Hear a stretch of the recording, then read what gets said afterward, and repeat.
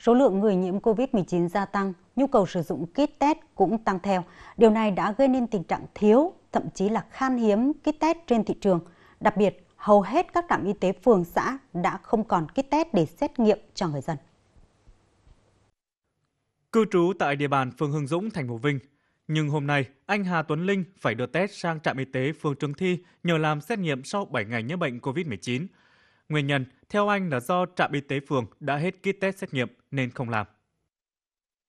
Nếu là không không có test kit nhưng mà dân họ đã mua đến thì phải test cho họ chứ. Hôm nay đây đưa đến nó cũng không test cho dân mà bắt dân về từ test nhưng mà đến khi dân ra khai báo thì lại là bảo là không không không không có xác nhận của của trung tâm y tế thì lại không chấp nhận là họ đã bị hoặc là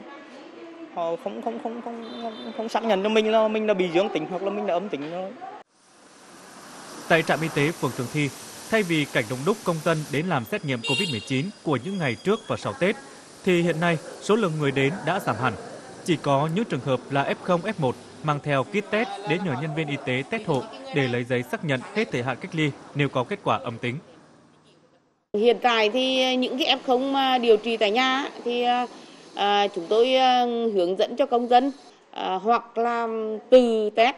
rồi dưới sự giám sát của cán bộ y tế và trạm y tế lưu động hoặc là họ có thể mua test lên trạm y tế để chúng tôi làm à, những cái F1 à, trong gia đình hoặc là những người có nguy cơ cao như sốt, ho, khó thở thì à, chúng tôi cũng vận động nhân dân là từ mua que test đến để trạm y tế kiểm tra à, xác định hết kit test để xét nghiệm COVID-19 cho công dân là thực trạng diễn ra trên địa bàn thành phố Vinh trong khoảng gần 2 tuần nay. Theo đó, nếu như trước đây, các trường hợp thuộc diện F0, F1 hoặc có triệu chứng đều được xét nghiệm miễn phí, thì nay tất cả đều phải test dịch vụ hoặc tự đưa kit test đến nhờ nhân viên trạm y tế làm hộ. Dư các F0, F1 và triệu chứng như trước đây được miễn phí, thì bây giờ à, đến để à, đến khi vận động xã hội hóa để à, trong lúc chờ Tết miễn phí có trở lại thì trong quá trình đi làm phải vận động để xã hội hóa. Không chỉ ở thành phố Vinh mà tình trạng thiếu, thậm chí là khan hiếm kit test cũng đang diễn ra tại nhiều huyện thị khác. Toàn huyện Anh Sơn hiện đang có hàng chục F0 chưa thể giải phóng vì không có kit test xét nghiệm để chứng minh bệnh nhân đã khỏi bệnh. Thời điểm hiện tại thì chúng tôi đang còn khoảng độ à, 30 35 trường hợp. Nhưng mà trong trạm hiện tại là chúng tôi chỉ còn khoảng độ 5 cái test nữa. Nên để giải phóng F0 thì chúng tôi chưa thể giải phóng được ngay bằng test. À, bây giờ phải là tư vấn cho bệnh nhân là từ cách ly thêm và